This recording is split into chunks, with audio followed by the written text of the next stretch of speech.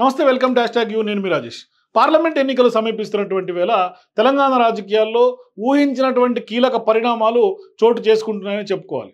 ఎందుకంటే ఓవైపు పార్లమెంట్ ఎన్నికలు షెడ్యూల్ ఒకటి రెండు రోజుల్లోనే వస్తుందంటూ కూడా పెద్ద ఎత్తున ప్రచారం జరుగుతుంది. మరి అసెంబ్లీ ఎన్నికల్లో సత్తా చాటి అధికారంలోకి వచ్చినటువంటి కాంగ్రెస్ పార్టీ అదే ఊపును కొనసాగించాలని కూడా పెద్ద ఎత్తున భావిస్తోంది. ఇప్పటికే టార్గెట్ ఫోర్టీన్గా రేవంత్ రెడ్డి ఫిక్స్ చేసుకున్నటువంటి పరిస్థితి ఎంపీ ఎన్నికల్లో. సో ఇక ఎంపీ ఎన్నికల్లో మెజార్టీ స్థానాలు దక్కించుకోవాలని కూడా ఓవైపు బీఆర్ఎస్ బీజేపీ పార్టీలు కూడా తమ వ్యూహాలకు పదును పెడుతున్నాయి. ఇప్పటికే బహిరంగ సభలతోటి వాళ్ళు కూడా ప్రజలకు దూసుకెళ్తున్నటువంటి పరిస్థితి కనిపిస్తుంది. తాజాగా అమిత్ షా తెలంగాణ పర్యటనకు వచ్చిపోయి వెళ్ళారు.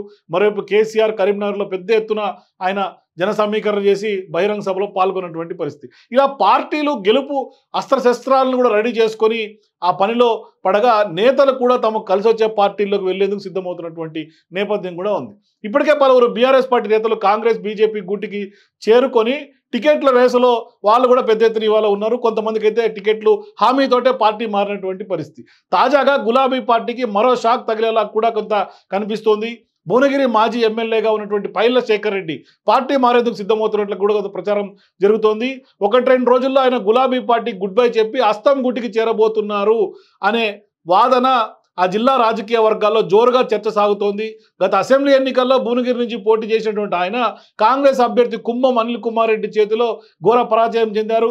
మరి రెండు వేల పద్నాలుగు పద్దెనిమిది ఎన్నికల్లో కూడా వరుసగా విజయం సాధించినటువంటి పైలశేఖర్ రెడ్డి రెండు వేల ఇరవై మూడులో మాత్రం పరాజయాన్ని మూటగట్టుకున్నారు. మరి అప్పట్లో బీఆర్ఎస్ పార్టీ పైన ఉన్నటువంటి వ్యతిరేకత అయినా లేకుంటే పైలశేఖర్ రెడ్డి పైన ఉన్నటువంటి వ్యతిరేకతతో కూడా కొంత ప్రజలు ఎవరు ఆయన గెలిపించినటువంటి పరిస్థితి. సో ఇక ఈ నేపథ్యంలో కాంగ్రెస్ పార్టీలో చేరి ఎంపీగా పోటీ చేయాలని కూడా ఆయన భావిస్తున్నట్లు కూడా కొంత సమాచారం అయితే అందుతుంది. ఆయన వర్గీయుల వైపు నుంచి మనకు కూడా కొంత విశ్వసనీయంగా సమాచారం అందుతుంది. ప్రస్తుతం భువనగిరి ఎంపీ స్థానానికి కాంగ్రెస్ పార్టీ అభ్యర్థిని ఖరారు చేయలేదని చెప్పాలి.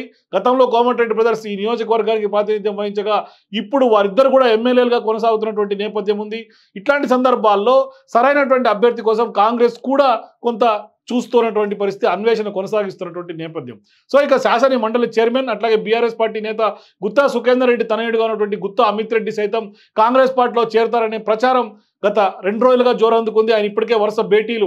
ఓవైపు కోమటిరెడ్డి వెంకటరెడ్డి మరోవైపు ప్రభుత్వ సలహాదారుగా ఉన్నటువంటి వేమ నరేందర్ రెడ్డితో కూడా భేటీలు కొనసాగిస్తున్నాడు. సో ఇప్పటికే ఆయన భేటీలు నిర్వహించిన తర్వాత సీఎం రేవంత్ రెడ్డితో భేటీ మాత్రమే కొంత పెండింగ్ పడింది. ఇక ఆయన కూడా భువనగిరి ఎంపీ టికెట్ ఆశిస్తుండగా కోమటిరెడ్డి కుటుంబంతో గుత్తా ఫ్యామిలీకి ఉన్నటువంటి విభేదాల నేపథ్యంలో ఆయన టికెట్ కష్టం అనే వాదన కూడా ఇవాళ ప్రధానంగా ఉమ్మడి నల్గొండ జిల్లా రాజకీయాల్లో మాట వినిపిస్తోంది. అయితే ఇట్లాంటి సందర్భాల్లో తెరపైకి పైల శేఖర్ రెడ్డి పేరు కూడా వచ్చి చేరింది.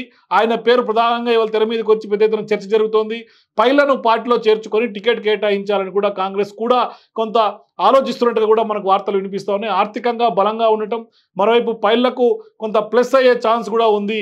కొంత మరో రెండు మూడు రోజుల్లోనే పార్టీ పెద్దల సమక్షంలో ఆయన పార్టీలో చేరబోతున్నట్లు కూడా ఆయన సన్నిహితులు కూడా చెప్తున్నారు. ఇప్పటికే భువనగిరి టికెట్ కూడా ఆయనకే ఇచ్చేందుకు కొంత ఫిక్స్ అయినట్టుగా తెలుస్తోంది. మరోవైపు భువనగిరి టికెట్ పైన పెద్ద ఎత్తున ఇప్పటికే బీసీలను కూడా కొంత ఇవ్వాలి అనే ఒక డిమాండ్ ప్రధానంగా వినిపిస్తుంది. ఎప్పుడైతే బీసీలకు గత అసెంబ్లీ ఎన్నికల్లో కొంత అన్యాయం జరిగిందని ఒక వాదన ప్రధానంగా కాంగ్రెస్ పార్టీ మీద ఉందో మరి ఇప్పుడు ఖచ్చితంగా ఎంపీ ఎన్నికల్లో కొంత బీసీలకు న్యాయం చేయాలనే ఒక వాదన కూడా కాంగ్రెస్ పార్టీ ముందు చాలామంది బీసీ నేతలు పెడుతున్నటువంటి పరిస్థితులు కూడా ఉన్నాయి. మరోవైపు బీసీ నేతలుగా ఉన్నటువంటి చాలామంది నేతలు ఇవాళ భువనగిరి రేస్లో ఉన్నారు. ఉమ్మడి నల్గొండ జిల్లాలో ఎప్పుడైతే కాంగ్రెస్ పార్టీ కంచుకోటగా ఉందో చాలామంది ఇవాళ టికెట్ల కోసం పోటీ పడుతున్నటువంటి సందర్భం ఉంది. ఎందుకంటే ఖచ్చితంగా గెలుపొందే స్థానం భువనగిరి నల్గొండ జిల్లాలో ఉన్నటువంటి ఆ స్థానాలు కాబట్టి ఖచ్చితంగా కాంగ్రెస్ కంచుకోట కాబట్టి ఖచ్చితంగా గెలిచే అవకాశాలే ఉన్నాయి అనే ఒక దాంతో ప్రధానంగా అందరూ కూడా కొంత పోటీ ఎక్కువగా ఉన్నటువంటి నేపథ్యం. ఇప్పటికే భువనగిరి కోసం తీన్మార్ మలన్న పెద్ద ఎత్తున పోటీలో ఉన్నారు. ఆయన కొంత రేవంత్ రెడ్డి అట్లాగే దీపాదాస్ మున్షి ఇట్లా ఇన్ఛార్జీలు కాంగ్రెస్ పార్టీ అధిష్టానం పెద్దలు కూడా కొంత హామీ ఇచ్చినట్టు తెలుస్తుంది. మరోవైపు పెద్ద ఎత్తున ఇప్పటికే కాంగ్రెస్ పార్టీలో చాలా సీనియర్ నాయకులుగా ఉన్నటువంటి చామల కిరణ్ కుమార్ రెడ్డి. ఆయన కూడా కొంత ప్రధానంగా భువనగిరి రేస్లో ఉన్నట్టుగా తెలుస్తుంది. మరోవైపు బీసీ నేతగా ఉన్నటువంటి పున్న కైలాస్ నేత ఇట్లా చెప్పుకుంటూ పోతే చాలామంది నేతలు ఇవాళ భువనగిరి రేస్లో ఉన్నారు. కానీ అధిష్టానం ఎవరికి మొగ్గు చూపే అవకాశం ఉంది? మరి పార్టీలో నమ్ముకొని ఉన్నటువంటి వాళ్ళకు వీళ్ళకు అవకాశం కల్పిస్తుందా? లేకుంటే బీఆర్ఎస్ పార్టీని తీసుకొచ్చినటువంటి పైల శేఖర్ రెడ్డి వైపే అధిష్టానం మొగ్గు చూపుతుంది అనేది మాత్రం వెయిట్ చేసి చూడాలి. మొత్తం మీద కొంత టికెట్ల విషయంలో కాంగ్రెస్ పార్టీ మల్ల గుల్లాలు అయితే పడుతుంది. మరి ఇవాళ జరగబోయే సిఈసీ మీటింగ్లో రేవంత్ రెడ్డి కూడా పార్టిసిపేట్ చేసే అవకాశాలు ఉన్నాయి. ఢిల్లీకి ఆయన వెళ్ళారు కాబట్టి ఒక క్లారిటీ వచ్చే అవకాశాలు స్పష్టంగా కనిపిస్తున్నాయి. For more videos please watch hashtag you